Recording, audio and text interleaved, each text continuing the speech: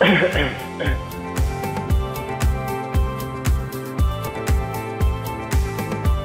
chào các em học sinh lớp 8. Hôm nay chúng ta lại tiếp tục với chủ đề thứ hai, chủ đề phân tích đa thức thành nhân tử với phương pháp với phương pháp thứ năm, phương pháp thêm bớt hạng tử. Vậy làm thế nào để thêm bớt thêm bớt hạng tử như thế nào? Chúng ta cùng nhau nghiên cứu các ví dụ. Ví dụ một, thì yêu cầu mình phân tích các đa thức thành nhân tử. Ở trên bảng người ta có ba cái đa thức. Đa thức thứ nhất x mũ 4 cộng 4. Đa thức thứ hai x mũ 4 cộng với 64 x từ ra thức thứ ba x mũ 4 cộng với 4x mũ 4 ta lần lượt uh, nghiên cứu từng ý nha ý A thì đối với đa thức x mũ 4 cộng 4 đây là đa thức có hai hạng tử. Hai từ này không dùng được hằng thức không có nhân tử chung nhóm cũng không được vậy làm thế nào để mình phân tích thì ta có cái định hướng, phương pháp thêm bớt hạng tử. Vậy thêm hạng tử nào? Thì trước hết ta đi phân tích cái hạng tử thứ nhất này này. Nó có x mũ 4 thì ta đưa nó dạng lũy thừa đó là ta có x mũ 2 tất cả mũ 2 như vậy ta đưa thành dạng là a lớn bình phương, a bình phương, đúng không? Cộng 14 thì ta đưa thành hai bình phương như vậy ở đây ta có cái dạng a bình cộng b bình, tuy nhiên ta không có hằng thức tổng hai bình phương. Do đó muốn dùng được hằng thức thì ta phải thêm bớt hạng tử. Để nó xuất hiện hằng thức, do ta có a bình phương rồi, có b bình phương rồi, vậy ta cần hạng tử là 2ab thì ta dùng được hằng thức a bình, a cộng b tất cả bình phương, đúng nhỉ?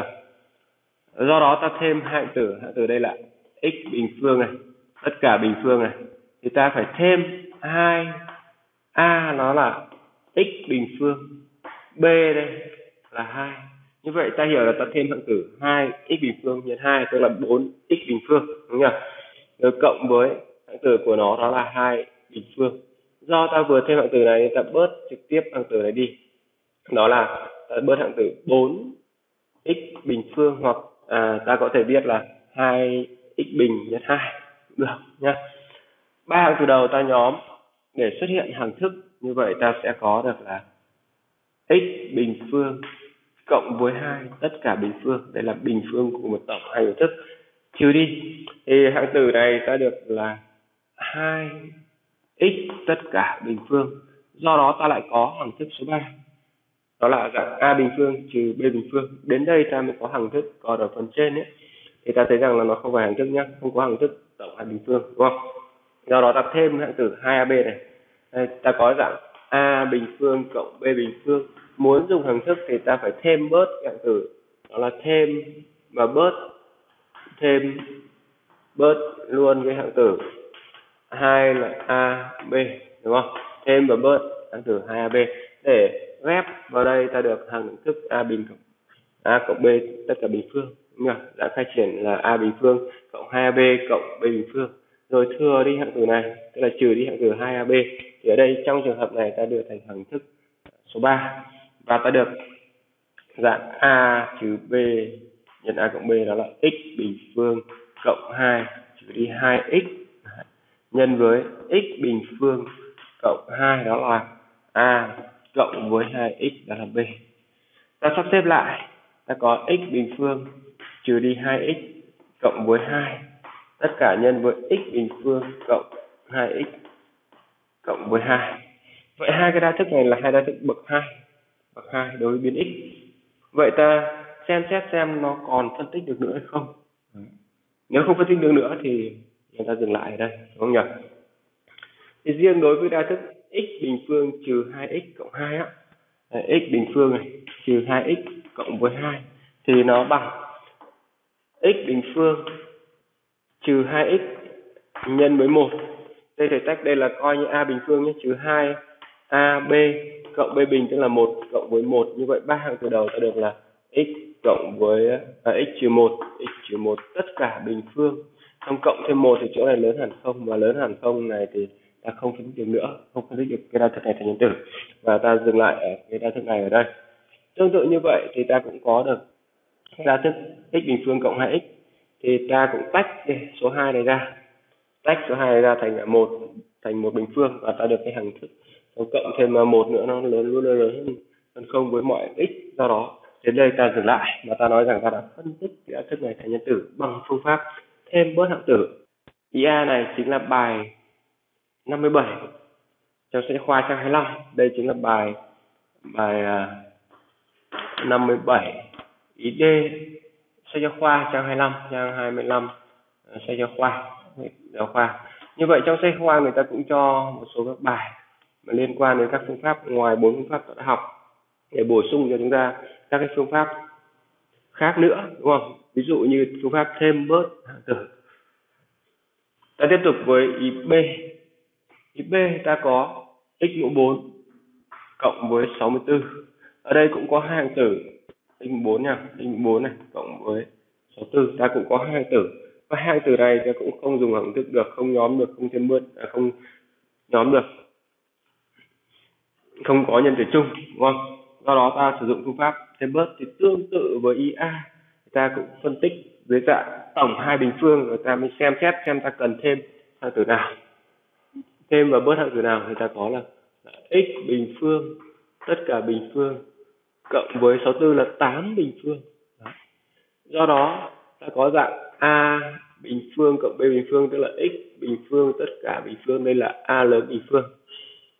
Do đó, ta thêm hạng tử, đó là thêm hai lần ab giống như ở ý a.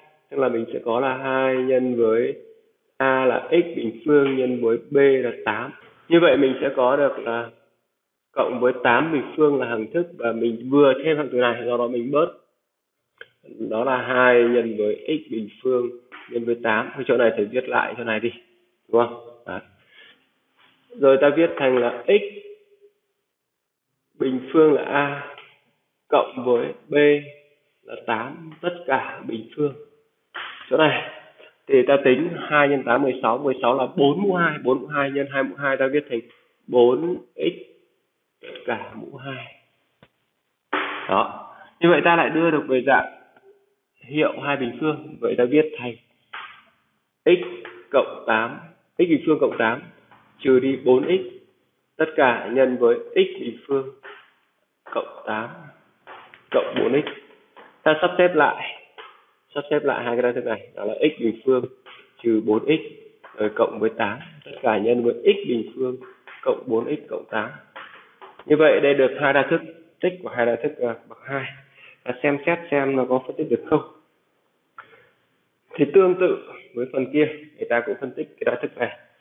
Ta có là x bình phương này, trừ 4x này, cộng với 8 thì ta đưa về hằng thức, ta tách ra nhá, x bình phương này. Chỗ này 4 ta tách thành hai là hệ số hằng thức này. Nhân với x là a, nhân với 2 như vậy cần 4 hai bình phương là 4 mà. Đây là b này, thì b bình phương là 4 4 thì ta lấy 4 từ 8 ta tách 8 ra thành 4 cộng 4 như vậy chỗ này được hằng thức đó là x trừ 2 tất cả bình phương sau đó cộng với 4 nữa thì chắc chắn lớn không? Như vậy là ta không phân tích được đa thức thành tử. Và tương tự với đa thức x bình phương cộng 4x cộng 8 thì ta cũng phân tích như thế. Do đó ta không phân tích được đa thức này thành tử. Và đây chính là kết quả cuối cùng.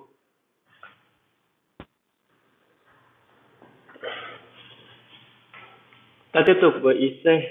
Ý C người ta cho có thêm cái biến y nữa thôi.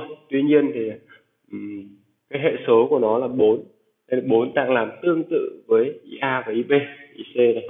IC ta có x mũ 4 này cộng với 4 y bình phương. À, y mũ 4 thì bước đầu tiên ta cũng biến đổi thành dạng tổng hai bình phương. Đó là x bình phương tất cả bình phương cộng với 2 y tất cả 2 y bình tất cả bình phương. Đấy. sau này ta dùng công thức lũy thừa của lũy thừa kết hợp với lũy thừa của tích. Như vậy để có dạng a bình cộng b bình và ta thêm hai hạng tử 2ab đó là à, giữ lại x bình phương nha tất cả bình phương là a bình phương này. Cộng với hai là hệ số hằng thức. Rồi nhân với a là x bình phương rồi nhân với b là 2y bình phương. Như vậy ta vừa mới thêm hạng tử này. Đấy. ở chỗ này ta cộng với 2y bình tất cả bình chính là b bình phương này. Rồi ta bớt trực tiếp đi hạng tử này đó là 2x bình phương nhân với 2y bình phương. À. và ta viết thành ba hạng từ đầu này. Một, hai, ba. Ta viết thành hằng thức, bình phương của một tổng đó là viết thành x, bình phương cộng với 2y bình phương sau đó tất cả bình phương. Rồi trừ đi, chỗ này ta viết thành 2 nhân 2 là 4 hay nói cách khác là 2 bình nhân x bình nhân y bình. Vậy ta viết thành 2 x y tất cả bình phương. Đúng không? Bằng. Đây ta có dạng a bình, a bình phương trừ bình phương. Ta viết thành a là x bình phương cộng với 2y bình phương rồi trừ đi 2xy tất cả nhân với cái đa thức đó là x bình phương cộng với 2y bình phương rồi trừ đi à, cộng cho cộng 2 xy Đấy. đến đây thì ta xem xét xem cái đa thức này có phân tích được nữa không thì ta thấy rằng là đối với đa thức ta cũng làm tương tự như phần trên nhá. À, thấy nháp chỗ này, xem có phân tích được nữa không? Thì ta thấy rằng là cái này ta có là x bình phương này trừ 2xy đây cộng với y bình phương này. Đây có hai y bình phương vậy cộng thêm y bình phương nữa thì riêng ba từ đầu này thành hằng thức đó là x cộng y tất cả à, x trừ y tất cả bình phương rồi cộng với y bình phương thì này lớn hơn không? Đúng không? Không, do đó ta không phân tích được. Dừng lại ở đây. Tương tự như vậy, phần này cũng không phân tích được. Và ta dừng lại ở đây. Bởi vì nếu mà y bằng không, y bằng không, x bằng không, thì nó mới bằng không được. Nhưng mà trường hợp này thì y bằng x, y bằng x bằng không như vậy chỉ có trường hợp duy nhất x bằng y bằng không thôi. Đúng không? Thì cái đa thức này tích thì nó mới bằng không được. Như vậy ta dừng lại ở đây, đúng không?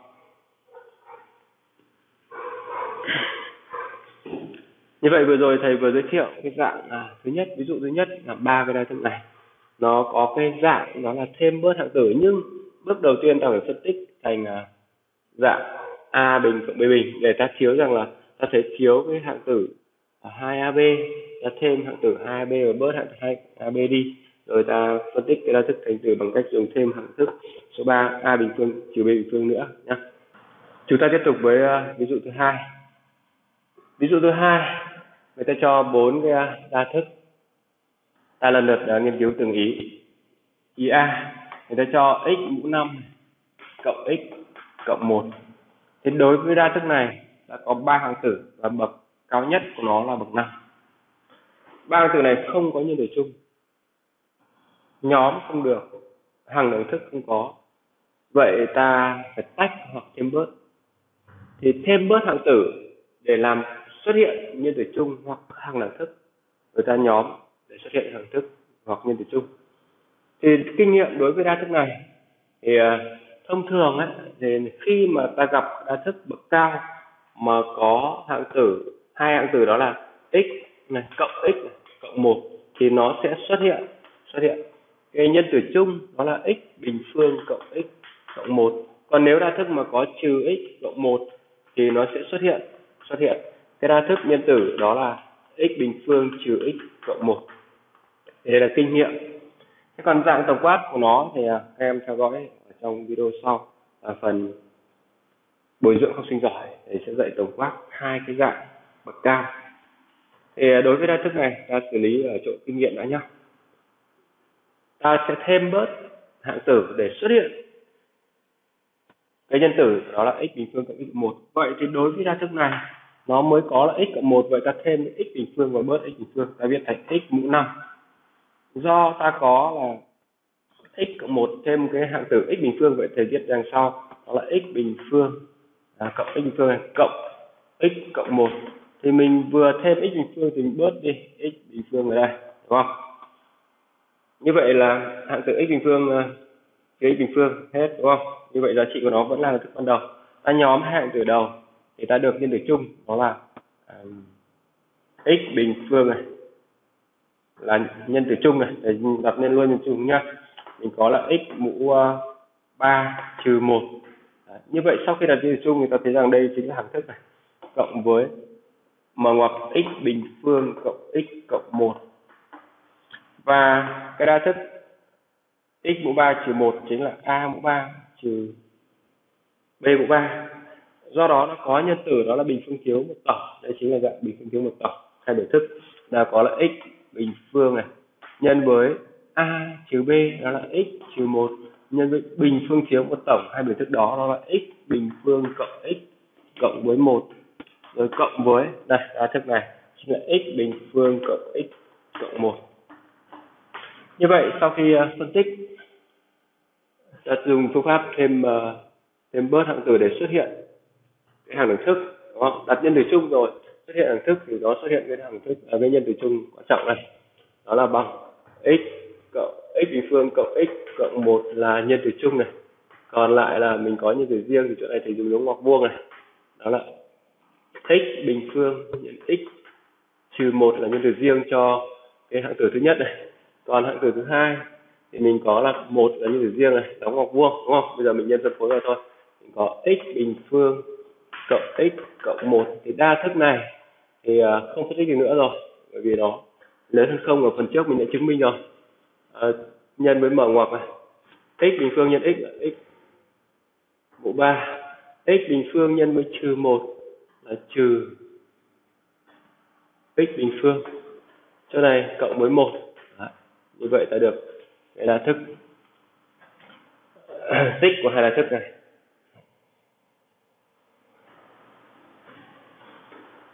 Như vậy kinh nghiệm ở cái dạng này là mình thêm bớt hạng từ để xuất hiện. Nhân từ chung sau đó lại phải xuất hiện hàng đẳng thức. Và à, cái đa thức dạng này thì luôn luôn có cái nhân tử đó là x bình phương cộng x cộng một. Là định hướng kim chỉ nam để mình xây dựng cái phương pháp. Tương tự như vậy thì IB đang nghiên cứu IB nhá. IB người ta cho đó là x mũ 5 cộng x mũ 4 cộng 1 như vậy ở đây nó không có sang tử là dương x hay là âm x đúng không? Thì làm thế nào để xuất hiện thì ta phải sử dụng phương pháp thêm bớt thôi. Vậy thêm bớt thì thêm bớt như nào? Thì thầy uh, chia sẻ một cái kinh nghiệm đó là đối với dạng đa thức này thì ta có thể làm nhiều cách trong đó là có một cách là thêm bớt các hạng tử theo chiều lũy thừa giảm dần của biến. Có nghĩa là là thế nào? Thì mình có x mũ 5 có x mũ 4 vậy dưới x mũ 4 tức là thấp hơn x mũ 4 bậc là x mũ 3 đúng không vậy ta thêm và bớt hạng tử x mũ 3 rồi tiếp tục thêm bớt tiếp ví dụ như mình có x mũ 5 này à, cộng x mũ 4 này cộng với x 3 là ta thêm này thì phải bớt x mũ 3 này bớt trực tiếp luôn nhá thì dưới x mũ 3 tức là sau x mũ 3 thì ta được x mũ 2 thì ta thêm hạng tử x mũ 2 rồi cộng à, x mũ 2 rồi thì trừ x mũ 2 rồi sau x mũ 2 thì ta thêm là x hạng tử bậc 1 trừ đi x rồi cộng với 1 của nó. Đã nhỏ. Đây ta có 1 2 3 4 5 6 7 8 9 hạng tử. Người ta nhóm 3 hạng tử một. Cụ thể mình nhóm luôn ba hạng tử đầu. Nó là x mũ 5 này cộng x mũ 4 này cộng x mũ 3 thành một nhóm này. À, hạng tử âm x mũ 3 âm x bình âm x thành một nhóm này. Đặt dấu trừ trước thì đổi dấu hoặc x mũ 3 cộng x bình phương. Rồi cộng x này đã đưa vào trong ngoặc cái hạng tử âm x này vào thành cộng x. Rồi cộng với x bình phương cộng x cộng 1 của nó này. Cái nhóm đầu tiên thì mình có x mũ 3 chung. X mũ 3 là nhân tử chung. Trong ngoặc còn là x bình phương cộng x cộng với 1 nhóm thứ hai mình có x là nhân tử chung.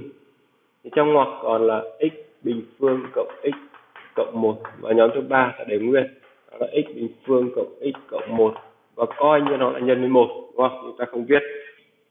Rồi ta đạt được nhân tử chung, đó là x bình phương cộng x cộng 1 tất cả nhân với, nhân tử riêng đó là x 3 trừ x rồi cộng với 1 và đây là kết quả cuối cùng. Như vậy là đối với hai đa thức ý A và ý B thì nó đều xuất hiện cái nhân tử chung, nó là cái dạng x bình phương cộng x cộng 1 bình phương thiếu một tử, đúng không? Lưu ý là nếu mà đây là dấu trừ trong trường hợp này thì nó sẽ xuất hiện à, x bình phương trừ x cộng 1 đấy là kinh nghiệm. Thế còn dạng tổng quát của nó thì nó luôn luôn là xuất hiện cái hai cái dạng đa thức đấy ta làm định hướng làm khi chỉ chỉ nam nhá. Chúng ta tiếp tục với ý C. Ý C người ta cho đó là x mũ 7 cộng x bình phương cộng 1.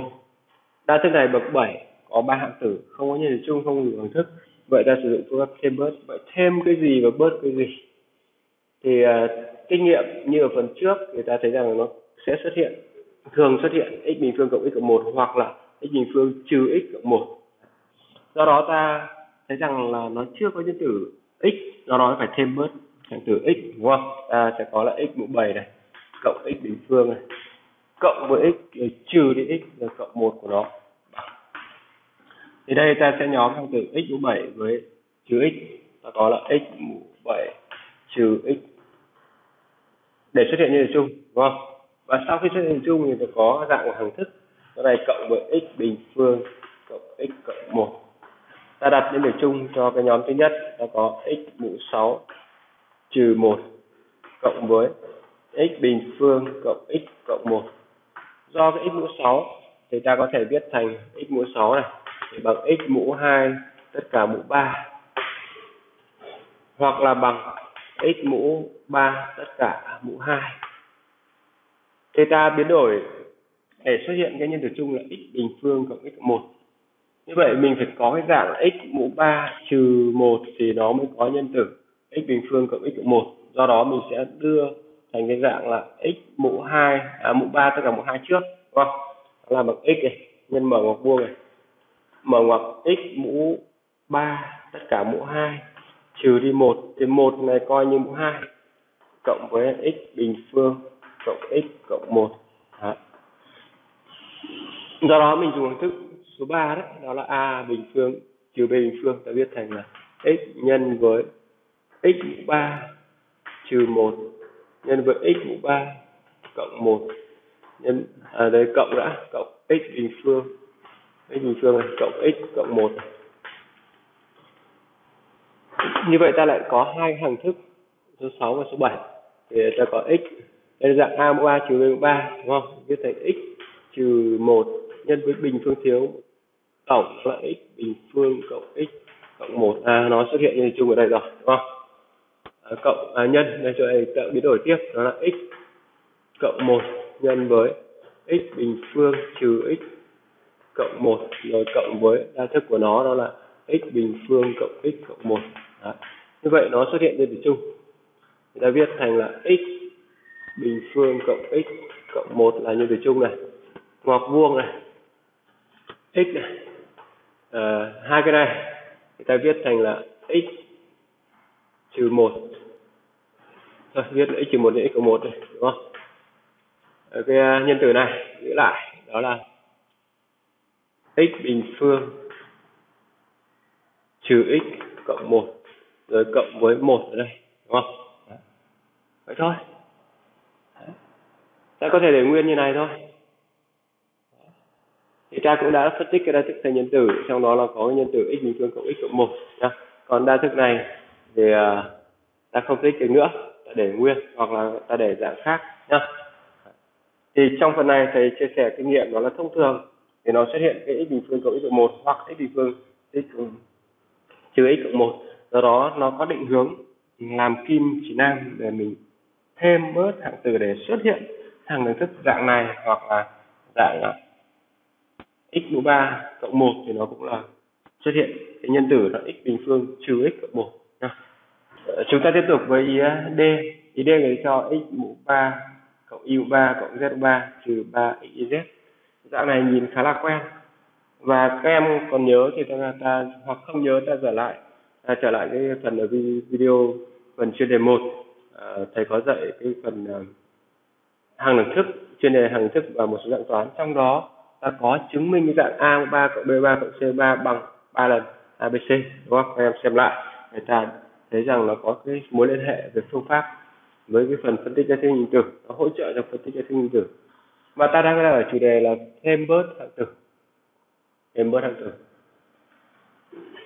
ý nhá mình uh, chú ý d có x mũ 3 cộng y mũ 3 cộng z mũ 3 trừ 3 x y z.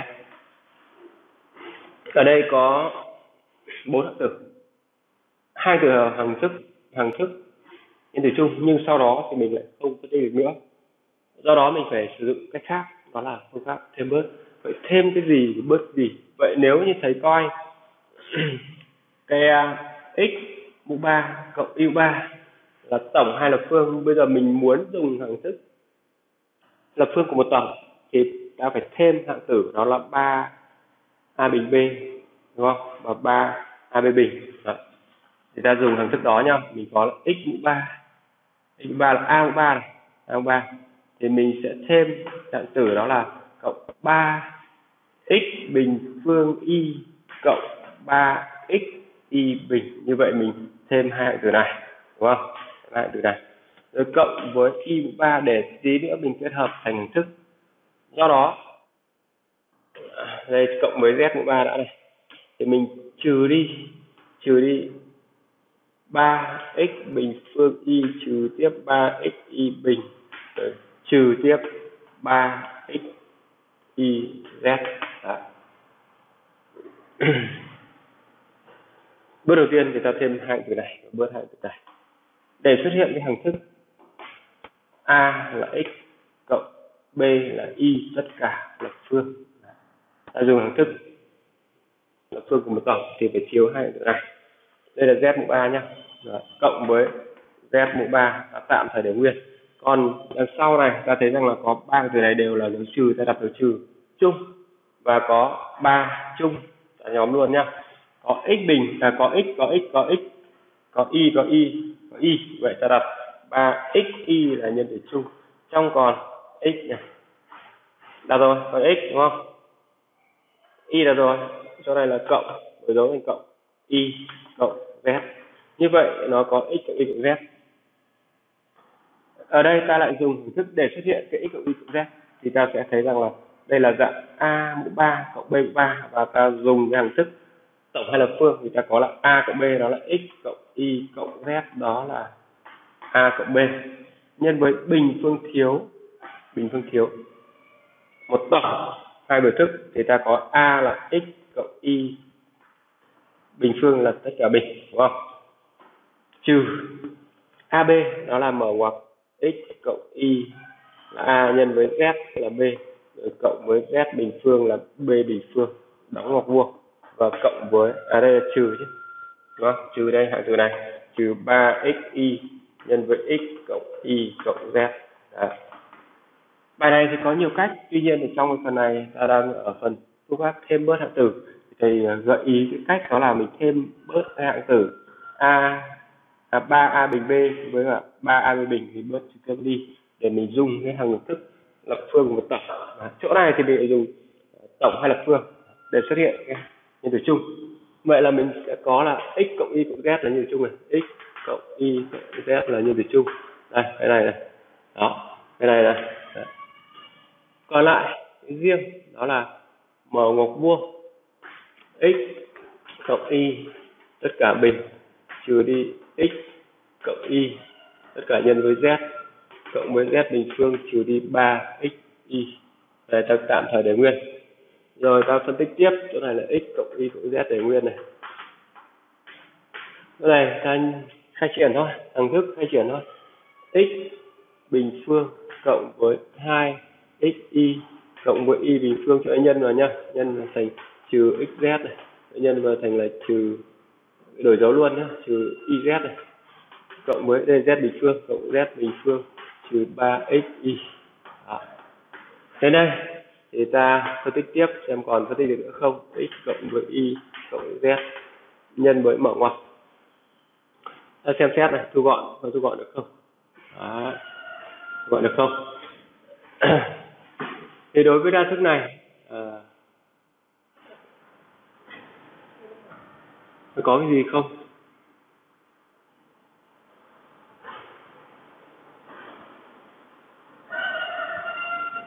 Ta nhóm được không? Thu gọn được không? Ở đây không thu gọn được. 3 xy với cả trừ à, 2 xy trừ 3 xy thì thành thành trừ xy đúng không? Ta viết lại đó nhá. X bình phương này. À, trừ xy hay là cộng y bình nữa này. Cộng với z bình phương này. Đây là hai từ này là còn trừ xy này chỗ này là còn là trừ iz trước này iz này và trừ xz và đến ra trước này thì ta không phân tích được nữa và ta dừng lại ở đây. Và ta đang nói rằng ta đã phân tích ra trước cái thành tử. Và cái phương pháp đầu tiên mình sử dụng bớt là thêm bớt hạng tử để xuất hiện hàng thức. Đấy. thêm một bớt để xuất hiện. Mục đích là mình dùng cái hạng tử hàng thức um, lập phương của một tổng đúng không? Cái chỗ này nó xuất hiện ta đặt nhân chung này xuất hiện uh, nhân tử chung là x cộng y cộng z. Thì chỗ này ta lại phải dùng đến hằng thức tổng hay lập phương đúng chưa? À, ngoài cách này ra thì ta có các cách khác nữa. Tuy nhiên ở trong phương pháp này thì thầy giới thiệu cách thêm bớt hai cái này nhá. Cần phân tích các thức nguyên tử. Phần phân tích các thức nguyên tử thì ờ, rất phong phú đa dạng. Và hôm nay ta dừng lại ở đây ở phương pháp thứ sáu phương pháp thêm bớt tử. Các em xem kỹ lại video có thể là viết lại làm lại các ví dụ để giải chữa để vận dụng cho các ví dụ trong bài tập tương ứng. À, xin chào các em và hẹn gặp lại các em ở những video lần sau. Cảm ơn các em đã theo dõi video này